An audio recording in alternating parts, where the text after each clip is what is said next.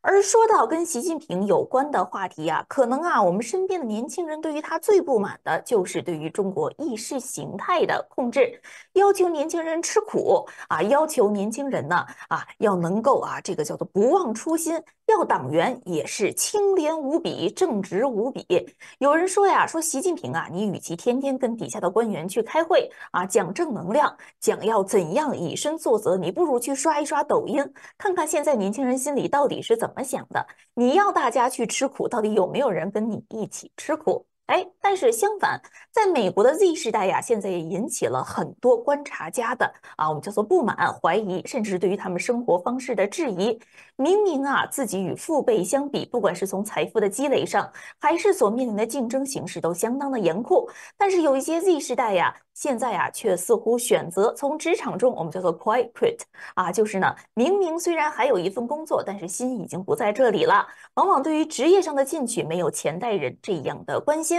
买不买房子无所谓，有没有储蓄也无所谓，越穷越要活得开心一点。这种心态到底是不是值得宣扬？对于美国的经济未来，是不是有可能掏空的趋势呢？中国和美国的年轻人是不是在政策的指向下可能会迈入两个极端呢？这是我们在今天早些时候在华尔街电视为大家首播的《思想先驱报》的主要内容，特别推荐给大家。节目最后仍然是华尔街联报继续为大家带来过去二十四小时的最新评论报道以及其他精彩内容。感谢给我们打赏的观众朋友们，感谢艺人，感谢云水，感谢甜点和金山。另外呀，提前为大家披露，今天下午啊，在热点深度还有其他的相关栏目中啊，我们会为大家介绍一个熟悉的名字。这个人叫谁呢？叫什么呢？叫芳芳。我们现在还有印象吗？这是之前呢，美国媒体揭露说，这是一位中国的女间谍啊，以和某一位这个民主党的议员谈恋爱为名啊，是接触到了很多美国的政界、商界上层人士，然后后来呢是返回了中国，哎，现在他重新出来了。据他本人的诉说，整个的故事啊完全是胡说，非但不是他是中国间谍，其实是当时联邦调查局联系了他啊，中中情局联系了他。向他呢提供了美国的身份以及高额的薪酬奖励，要求他作为美国的某一种线人，并且威胁他，如果你不接受的话，可能会毁了你。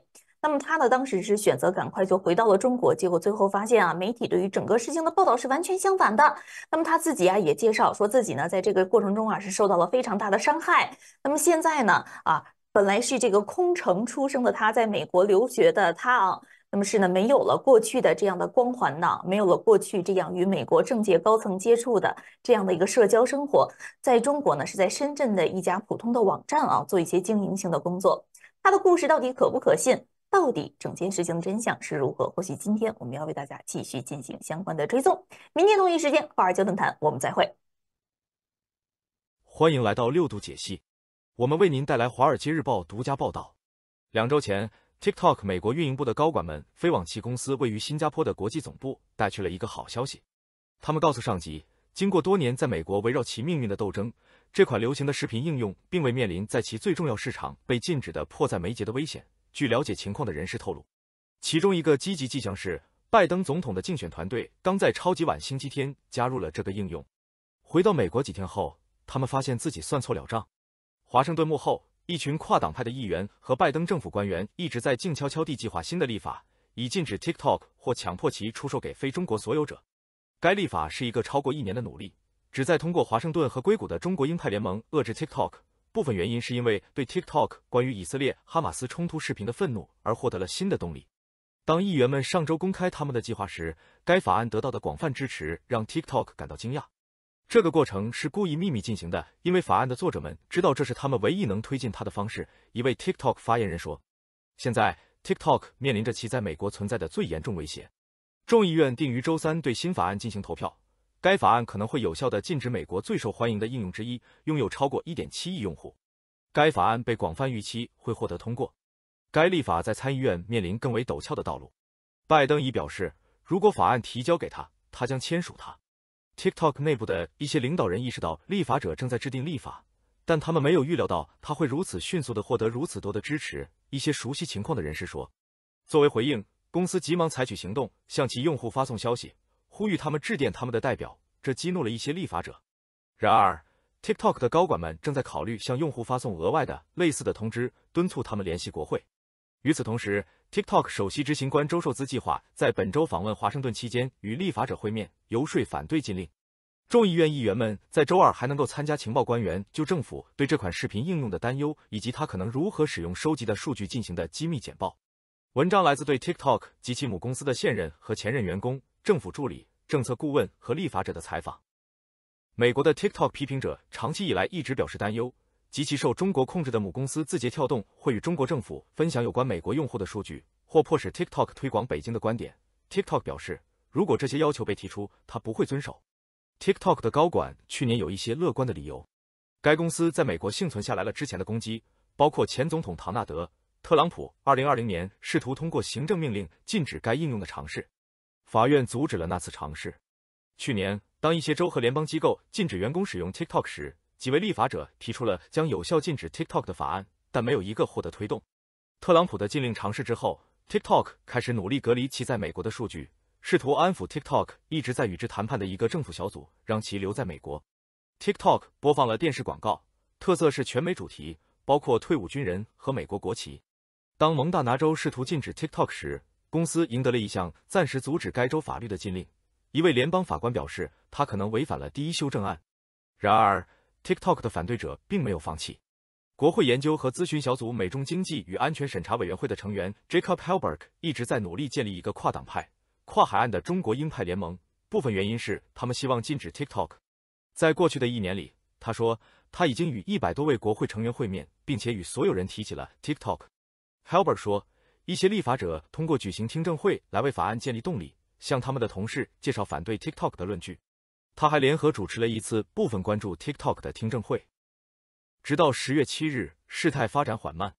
那天，在以色列的哈马斯袭击及随后在加沙的冲突，成为了对抗 TikTok 的转折点。Halbert 说，历史上未对 TikTok 表态的人开始关注视频中对以色列的描述，以及他们所见增加的反犹太主义内容。旧金山的数据科学家和技术高管安东尼·戈德布鲁姆开始分析 TikTok 在其广告购买者仪表板上发布的数据，显示用户观看带有某些标签的视频的次数。他发现带有亲巴勒斯坦标签的视频观看次数远多于带有亲以色列标签的视频。虽然比例有波动，但他发现有时达到了六十九比一，偏向于带有亲巴勒斯坦标签的视频。TikTok 表示其平台不会偏向任何一方。戈德布鲁姆一直倡导禁止或出售 TikTok。他在 X 上发表了他的发现，引起了广泛关注。前共和党总统候选人尼基·哈利引用了这项分析，在一场初选辩论中。戈德布鲁姆还收到了代表麦克·加拉格尔 （Mike Gallagher） 共和党威斯康星州办公室的回音。加拉格尔领导一个专注于中国的众议院委员会，对 TikTok 上的以色列哈马斯视频的担忧，促使他和其他委员会成员重新尝试强制出售或禁止。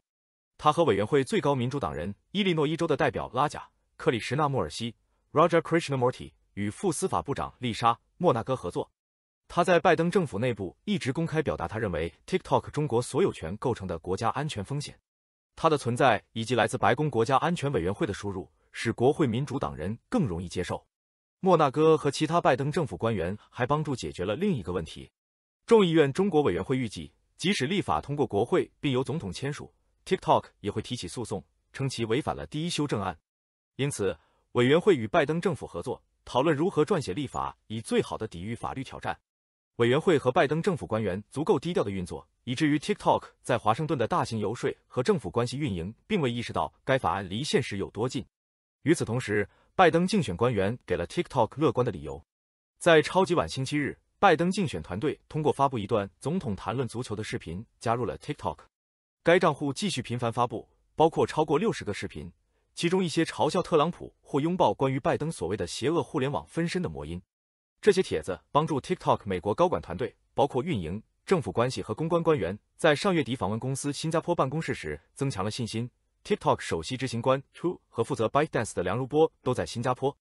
在一次会议中，一位美国高管向梁 True 和其他公司领导人更新了 TikTok 在华盛顿的游说努力，表示目前对 TikTok 的政治风向已经平息。上周三，在法案提出的第二天。TikTok 美国运营的领导人决定创建一个通知，当 TikTok 用户位于能源和商业委员会成员第一个对该法案进行投票的小组以及众议院领导人的选区内时，这个通知会弹出在他们的手机上。该通知允许用户输入他们的邮政编码，并呼吁他们的代表投诉该法案。这个噱头可能适得其反，一些议员表达了愤怒，认为这个中国所有的应用促使用户压倒了国会电话线。委员会以五十杠零的票数推进了该法案。在国会山进行了数月的幕后努力后，一项可能会在美国禁止 TikTok 或强制其出售的立法正迅速向众议院投票迈进。这一新举措让这项服务措手不及，增加了潜在买家的兴趣，并提高了这个国家最受欢迎的应用程序之一可能很快被关闭的可能性。多年来，立法者一直对 TikTok 表示谴责，担心这款应用的北京总部的母公司会与中国政府共享其用户的数据，或者依靠 TikTok 来推广北京的宣传，并塑造美国人的政治观点。但也有相反的担忧，认为对 TikTok 采取强硬措施可能会激起数百万接受该应用程序的用户的反弹。直到本周，努力似乎已经停滞。当一项新法案以五十杠零的票数通过众议院能源和商业委员会，TikTok 试图推动用户呼吁他们的国会代表反对该法案的努力似乎适得其反，只是增强了支持者的决心。该法案让 TikTok 措手不及。该公司表示，如果被要求提供数据，它不会遵从中国政府的命令。而且从未被要求过，一直在追踪该立法。但是，据了解情况的人士称，内部领导人并没有预料到他会如此迅速地获得如此大的支持。法案已通过委员会，定于周三在众议院全体投票。立法者和接近 TikTok 的人士预计众议院将批准该法案。如果通过，他将接着提交给参议院。威斯康星州的共和党众议员麦克·加拉格尔领导众议院中国共产党特别委员会，并共同撰写了该法案。他说：“我已经与许多。”参议员进行了讨论，我们欢迎这一点，并希望他们能迅速行动。该立法要求位于北京的母公司字节跳动剥离 TikTok，否则将面临在美国的应用商店和网络托管服务中被禁止的局面。字节跳动从法案生效起有五个多月的时间来遵守。TikTok 拥有超过1.7亿美国用户，认为这相当于一个有效的禁令。一位女发言人说：“该公司表示。”将美国部分的应用程序分离出去是不切实际的，会削弱这个全球性质的内容应用的吸引力。如今，美国的科技和媒体巨头已开始围绕。近日，一些高管讨论了，如果字节跳动同意出售，他们可能会购买 TikTok。视频游戏出版商 Activision 的前首席执行官鲍比·科蒂克向字节跳动联合创始人张一鸣表达了兴趣。据一位了解情况的人士透露，任何价格标签估计都将达到数千亿美元。科蒂克正在寻找合作伙伴。本周早些时候，在一次 Allen 与 Co 会议上的一次晚餐上，科蒂克向包括 OpenAI 首席执行官 Sam Altman 在内的一桌人提出了合伙购买 TikTok 的想法。据了解情况的人士透露，如果像科蒂克这样的合作伙伴能筹集足够的资本进行此类收购，OpenAI 可以使用 TikTok 来帮助训练其 AI 模型。TikTok 看到了两种阻止法案成为法律的方式。据一位接近公司的人士透露，第一是参议院。一些参议员已经表示反对可能会有效禁止该应用在美国的立法。他们提到了保护言论自由的愿望和不想干涉商业。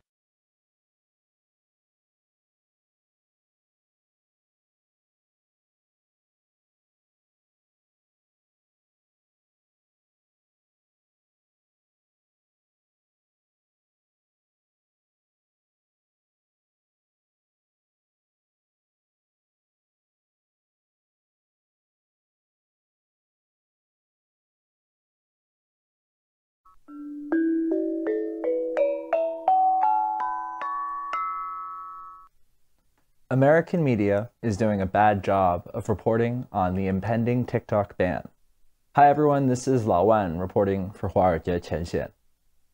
This week, House Republican leaders will move to pass a bill that will ban TikTok in the US if its parent company, ByteDance, refuses to sell the platform, or if the Chinese founders of ByteDance refuse to sell their shares in the parent company.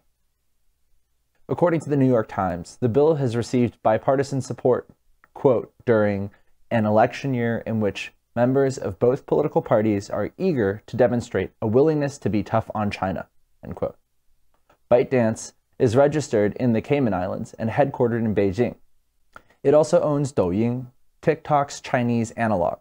According to TikTok's website, 60% of ByteDance is owned by global institutional investors like BlackRock, General Atlantic, and Susquehanna International Group. 20% by the company's founders, and another 20% by its employees. TikTok, a subsidiary of ByteDance, is headquartered in Los Angeles and Singapore. Its CEO, Chu Shouzi, or Zhou Shouzi in Mandarin, is from Singapore, and has already testified for a hearing held by the United States House Energy and Commerce Committee. Republicans are pushing to ban TikTok for two main reasons. First, they are concerned with the possibility that TikTok may be disseminating propaganda on behalf of the Chinese government. And second, they are worried that TikTok may be collecting users' data for the Chinese government.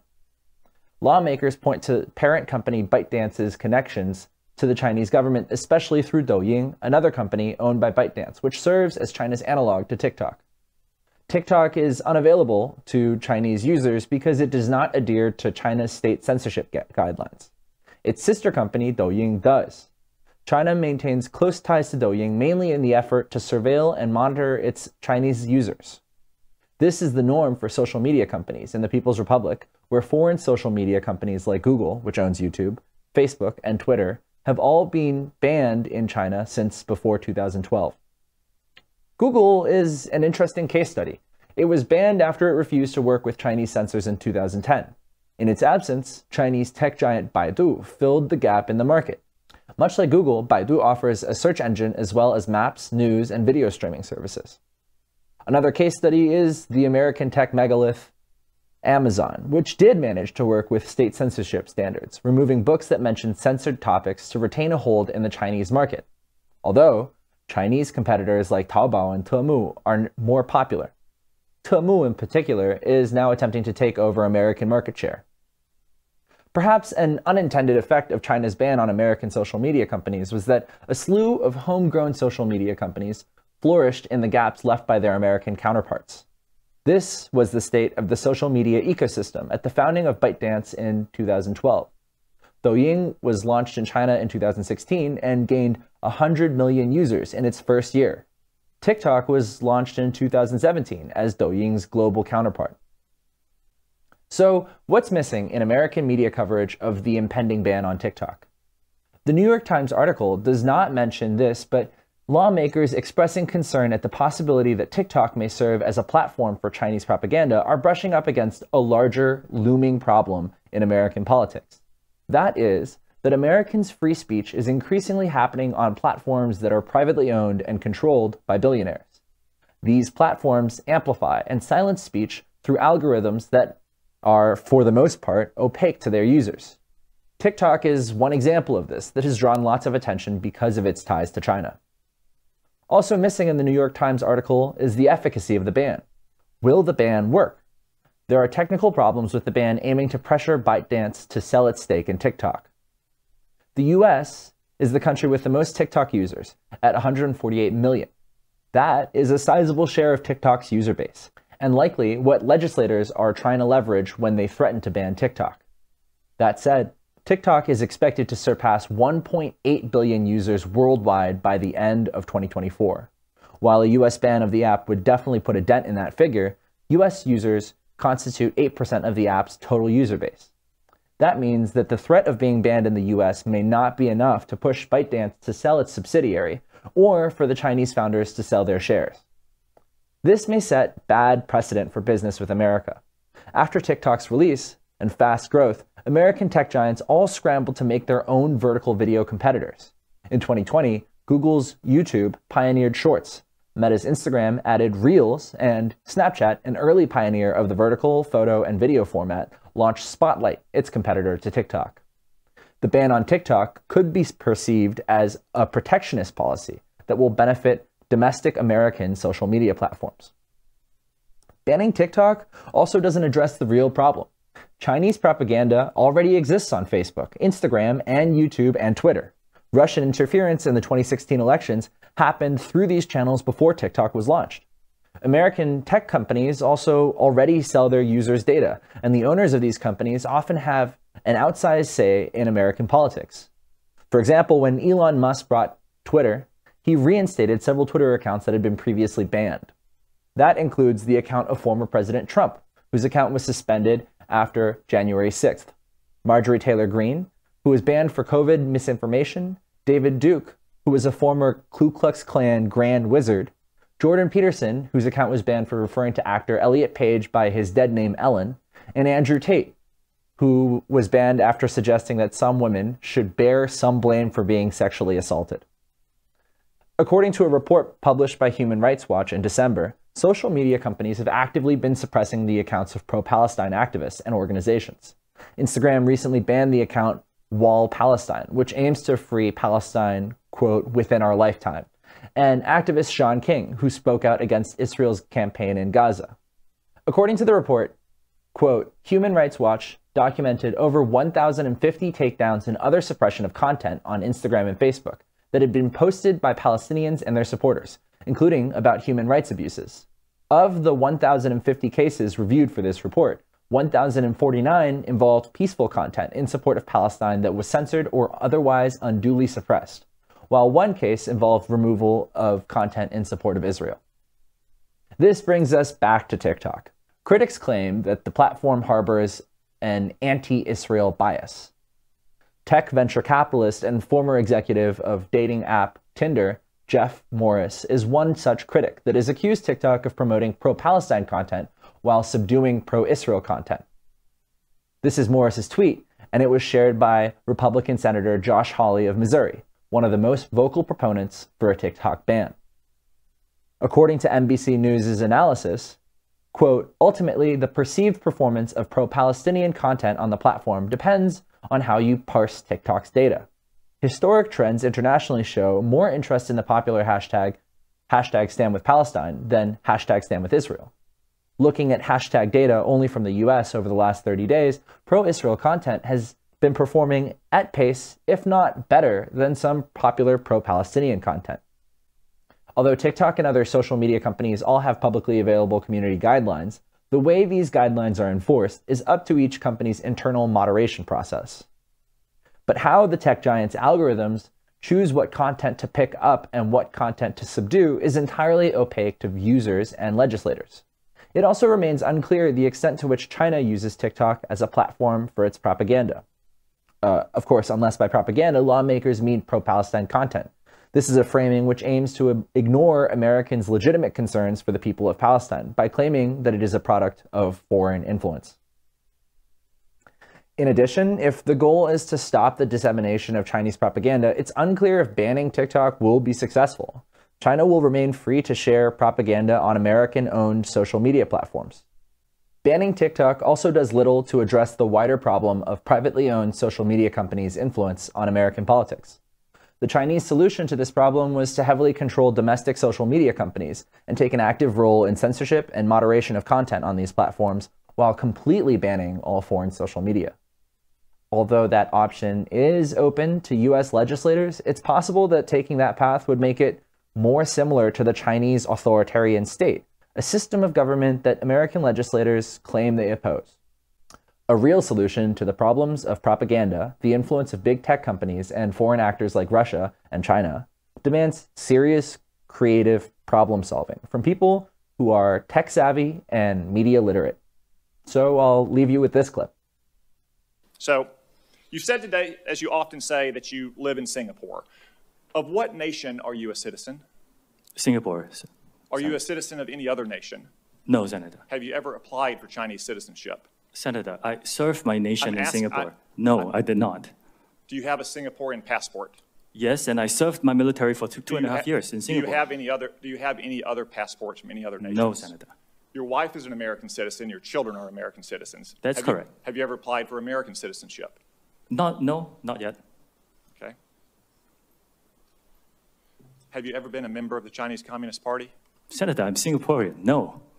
Have you ever been associated or affiliated with the Chinese Communist Party? No, Senator. Again, okay. I'm Singaporean. Let me ask you some hopefully simple questions. You... That was TikTok's CEO, Chu Shouts, in the hearing by the House Energy and Commerce Committee. Thank you so much for tuning in. This has been Lao Wan reporting for Huarajie Tianxian. Please like and subscribe, and uh, I hope you enjoyed the video.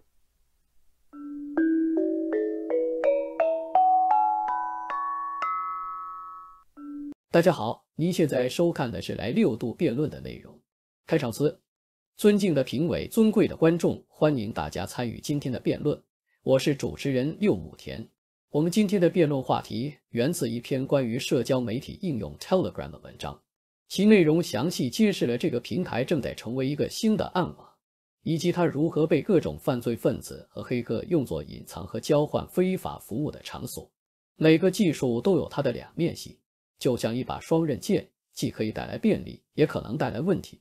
随着 Telegram 受到越来越多的审查，大众对其安全性和合规性的质疑也越来越大。而这也就是我们今天辩论话题：Telegram 社交媒体巨头还是新的暗网？我们将尽可能的探讨 Telegram 作为一个社交媒体应用和暗网平台的影响。我们希望至少能提供一些合理的看法，以帮助大家对这个问题有更深入的了解。为此，我们邀请了两位了解了两位了解该主题的辩手，来参加，从不同的角度阐述他们的观点，并用权威的历史事件和数据来支持他们的论点。我们的辩论活动将在一个公正。友好、积极和有趣的环境中进行。现在，让我们开始。正方，请你开始表述你的立场。我是正方辩手涛涛。在这场辩论中，我想要阐述的是，Telegram 作为一种社交媒体工具，它的重要性和对社会的贡献无法被否认。同时，我们也不能忽视其缺陷和潜在的风险。然而，就像任何创新技术一样，需要全社会共同努力来打造一个健康的使用环境，而不是将 Telegram 一棍子打死。首先，Telegram 目前是全球第十大社交网络，拥有超过五亿用户，且用户增加速度在社交媒体中名列前茅。这是一个事实，我们不能忽视 Telegram 所产生的社会影响力。正如文章中所描述，Telegram 在数以万计的群组和频道中提供了一个沟通和分享的空间，广泛应用于新闻发布、组织资源，甚至在地缘政治和人道主义危机中发挥作用。这一事实证明，Telegram 不仅仅是社交媒体领域的重要参与者。也在全球信息传播甚至政治运作中扮演了不可或缺的角色。其次，Telegram 采用了端到端加密的通信方式，这一加密方式保护了用户的隐私权益，为那些生活在审查制度严苛或者信息不自由的地方的人们提供了言论自由的渠道。另外，许多社交平台为了满足某些地方的法规要求，不得不限制或者删除用户的言论，这在某种程度上侵犯了用户的言论自由。然而，Telegram 却坚持保护用户的数据。拒绝与任何政府分享用户数据，这实际上成就了它在全球用户中的良好口碑。然后，Telegram 的出现挤压了暗网的生存空间。我们都知道，暗网是全球犯罪的温床，而 Telegram 的出现让很多原本在暗网中活动的人转移到了 Telegram 上，这实际上对打击暗网犯罪有着积极的作用。在 Telegram 上，很多犯罪行为都有迹可循，也更便于执法部门进行追踪取证，而不是像在暗网中那样无从抓捕。最后，我们必须明白，问题并不在 Telegram 本身，而在于如何规范 Telegram 的使用，如何寻找到保护用户隐私和遏制犯罪行为的平衡点。这是一项需要政策制定者、社区以及全社会积极参与的工作。将 Telegram 一棍子打死，既不公平，也不利于问题的解决。以这些观点作为我的辩论基础，我想要强调，Telegram 的存在对我们的社会具有积极的影响，尽管存在问题和挑战。但我们需要的是全社会的共同努力，而不是简单粗暴的禁止。我是反方辩手牙牙。虽然我认同涛涛对 Telegram 作为一种社交媒体工具的重要性和它在全球信息传播中的作用，我反对他将 Telegram 的问题简化为如何正确使用的问题。现实情况远比这个要复杂。Telegram 可以说是新一代的暗网，利用其端到端加密技术滋生大量的犯罪活动，这已经对社会安全和个人隐私构成了重大威胁。首先，我想引证一些权威的历史事实和数据。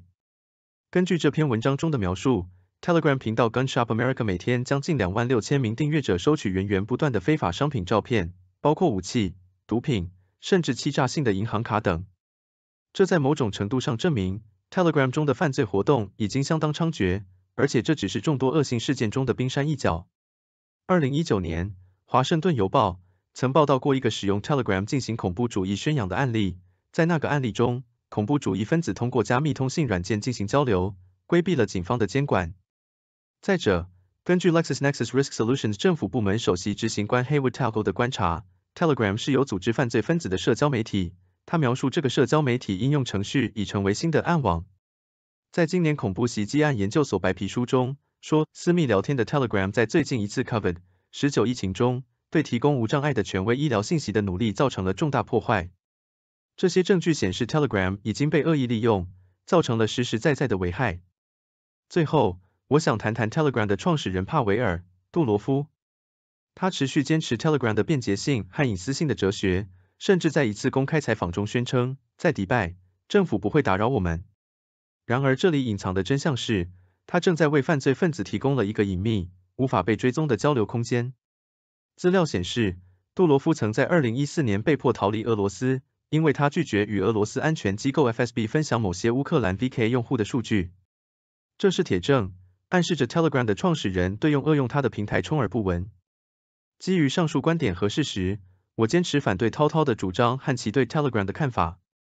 我们必须看清楚 Telegram 的真实面目，以及它披着社交媒体外衣的暗网本质，以便形成对它真正的了解，而不是被它的表象所迷惑。我是正方辩手涛涛。首先，我想感谢牙牙，你在这场辩论中所提出的深邃观察和质疑。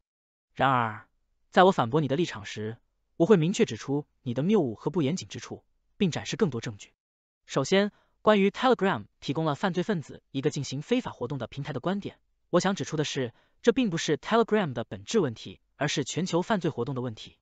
当然，我承认与其他社交媒体相比，Telegram 可能为犯罪分子提供了更多的机会。但是，许多其他平台，包括脸书、推特，甚至电子邮箱服务，都被犯罪分子用来实施非法活动。他们之所以选择 Telegram，其中一个重要原因是因为 Telegram 对隐私的保护。尽管这是他们的选择，但却不能以此为由贴上 Telegram 是新一代暗网的标签。其次，你提到了恐怖袭击案研究所的白皮书，指出 Telegram 在 COVID-19 疫情中对提供无障碍的权威医疗信息的努力造成了重大破坏。我想说的是，信息的获取和传播方式极其复杂，并非单一来源。不能因为在 Telegram 上出现了错误信息。就怪罪 Telegram 破坏了权威医疗信息的传播。在互联网的世界里，每个人都有责任检查和评估所接收信息的准确性，这并不只是 Telegram 的职责。再者，关于你对 Telegram 创始人帕维尔·杜罗夫的批评，我想说的是，一个创始人的立场并不能代表其创造的技术。我们不能因为他的言论就否认 Telegram 在全球信息传播中的重要角色。再次强调，我们应该将问题归结为如何合理使用和规范 Telegram。而不是简单的对其进行贬低和否定。用你的例子说话，如果我们要彻底禁止那些曾经逃离过俄罗斯的人提供的服务，或者禁止那些在迪拜没有被打扰的服务，那对全世界的影响会怎么样呢？这只会对我们的社会和全球化带来更大的阻碍。所以，我坚决认为，Telegram 并非新一代的暗网，而是我们这个时代的一种社交媒体生物，既有其不可替代的价值，也存在着我们需要面对和解决的问题。简单的把 Telegram 打上新一代暗网的标签，并不能解决任何问题。相反，我们必须理智的看待这个问题，并寻找更好的解决方法。我是反方辩手牙牙。在我的第一次发言中，我详细列举了 Telegram 作为新暗网滋生犯罪活动的可能性。然而，涛涛的反驳点在于我的主张是过度简化和恶意解读。我完全不同意他的观点，并且我有充分的理由认为我的主张是基于充足的事实的。首先，涛涛指出，这个过程中的主要矛盾不在 Telegram，而在于那些利用 Telegram 进行非法活动的人。然而，他忽视了一个事实，就是任何工具的存在，都离不开其被使用的方式和用途。因此，如果 Telegram 成为了犯罪行为的温床，Telegram 本身就是无法回避责任的。Videos 这个在2016年被查封的 DDoS 平台就是一个很好的例子。虽然 Videos 本身仅仅是一个工具，但是由于它被恶意使用，最终还是被追究了责任。因此，Telegram 作为犯罪行为的平台，同样需要承担起责任。其次，他指出我对 Telegram 与暗网划等号是一种过度简化和恶意解读。然而，他的这个观点显然忽视了暗网的内涵。之所以暗网成为了犯罪行为的温床，就是因为其提供了隐藏身份、获取非法信息的渠道，而 Telegram 也同样提供了这样的渠道。事实上，在 Telegram 上，所有人都可以隐藏自己的身份，进行包括但不限于贩卖非法商品、宣扬恐怖主义等活动。所以说，将 Telegram 与暗网相比，并没有过度简化的问题，而是站在不同的角度进行的评价。最后，他对我对 Telegram 创始人帕维尔·杜罗夫评价的否定，其实反映了他对 Telegram 的过度维护。他认为我对帕维尔·杜罗夫坚决保护用户隐私的立场进行了恶意解析。显然是基于对 Telegram 的有利看法。然而，《纽约时报》的一篇观点文章却有与他相反的看法。该文章认为，虽然隐私权是重要的，但是如果滥用隐私权，却将导致更为严重的后果。在帕维尔·杜罗夫未对 Telegram 进行合理的管理下，Telegram 不仅饱受诟病，而且使得犯罪行为有了滋长的土壤。通过以上的论述可以看出，涛涛在对我的反驳中显然存在一些问题，他的观点并没有切中要害。他过于看重 Telegram 的作用，而忽视了 Telegram 作为犯罪活动滋生地的一面。因此，我们必须正视这个问题，对 Telegram 进行专业化、规范化的管理，而不是抱着魔之的态度，对存在的问题充耳不闻。我是反方辩手牙牙。涛涛在上述观点中指出，我对 Telegram 的评估具有偏见。但是，他却忽视了 Telegram 平台存在的事实问题，并试图将所有问题归咎于 Telegram 的用户。首先，涛涛提到了 Telegram 只是社交圈子中的一员，它的目的是为了让人们更好的交流和分享，而并非成为犯罪活动的避风港。然而，事实证明，Telegram 中的端对端加密，使得执法部门很难追踪到犯罪活动，这正是 Telegram 被大量犯罪分子利用的原因之一。涛涛的观点明显忽略了这一事实。其次，涛涛将 Telegram 频道的非法行为归咎于那些利用 Telegram 进行非法活动的人，但是他并未考虑到，如果没有 Telegram 这样便利、公开且难以追踪的平台，这些犯罪行为是无法从线上转移到线下实施的。因此，从这个角度看，Telegram 明显有责任。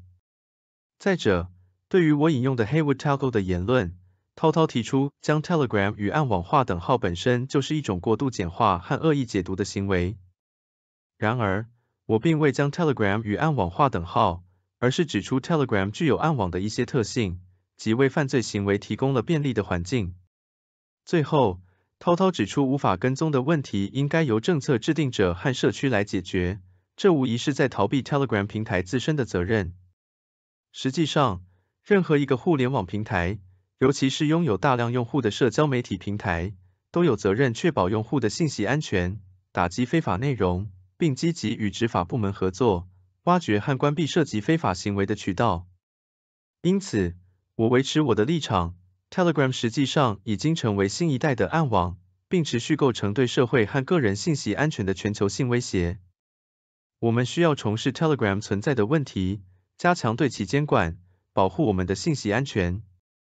我是正方辩手涛涛，接下来我将根据新的观点和事实来维护我的立场。首先，牙牙认为 Telegram 为犯罪行为提供了便利环境。我想说明，实际上任何一种社交平台都有可能被犯罪分子利用，而不仅仅是 Telegram。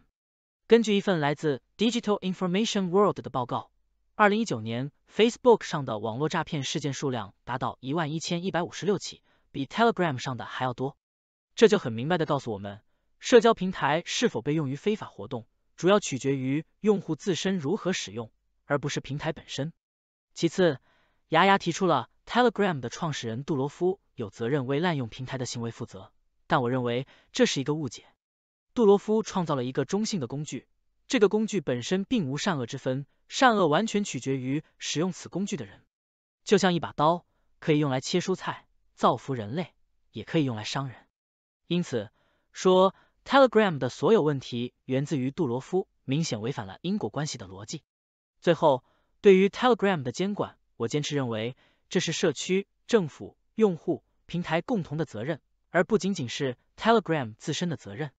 对于任何一种工具，都需要用户遵从道德、伦理、正当使用。而对于已经出现的问题，我们需要全社会共同努力，从多个角度入手，彻底根除犯罪行为。只有这样，我们才能真正享受科技所带来的便利，而不是将矛头只对准一个工具。因此，我认为我们不能将 Telegram 视为新一代的暗网，而应看到其在全球信息传播中的积极作用。